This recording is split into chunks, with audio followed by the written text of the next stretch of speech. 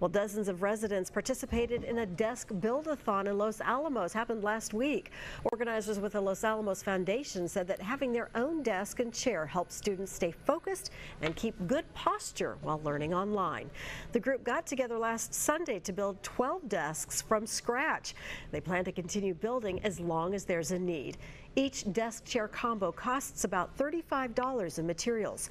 Donations can be made online. You can go to our mobile app or our website for more information.